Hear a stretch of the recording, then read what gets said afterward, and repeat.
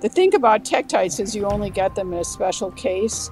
They, when when an impactor comes, the average angle that an impactor comes in is 45 degrees, Mhm. and to get tektites, you need to have something that's coming in at a low angle, probably less than about 20. And then what happens is the tektites are downrange.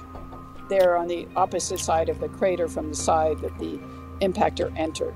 Okay, so I didn't know that fact about that low oblique angle as being a major factor in the formation of tektites. I didn't know that, but I'm so I've learned something here that's going to be Yeah, I and also, of now. course, this tektites are extremely glassy, so you Mhm. have to have a substrate that's got the right composition to melt to form a silicate glass.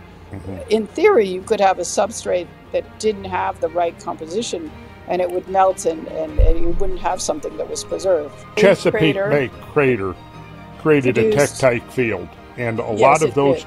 those are found in Georgia. There's a, the fall line down near Macon where. I guess somewhere near that Eocene, I think it was Eocene, around 35 It's million Eocene. years It's ago. 80 million years roughly. 80 million. Yes. It's E- Eocene, yeah, okay.